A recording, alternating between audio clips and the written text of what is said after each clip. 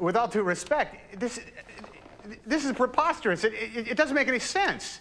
Oh, you're right, Beckett. You don't have an attitude problem. Take it easy, Walter. If you had lost confidence in me, why'd you give me the Highline suit? Andy, you nearly blew the entire case, for Christ's sakes. That alone is inexcusable. It would have been catastrophic for us. Uh-huh.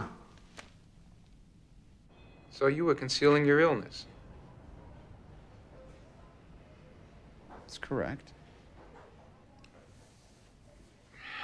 All right, explain this to me like I'm a two-year-old, okay? Because there's an element to this thing I just cannot get through my thick head.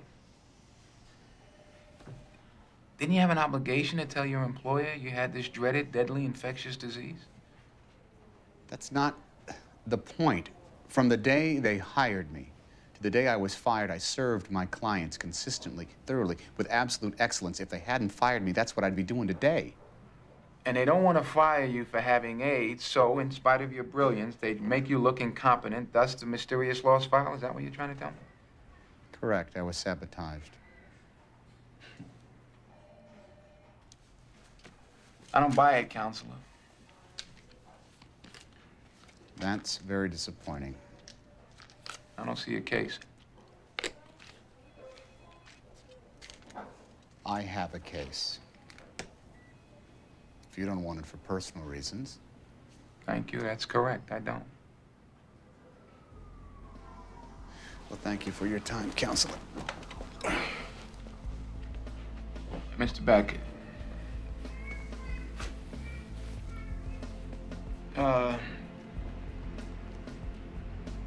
I'm sorry about what happened to you. It's a you know.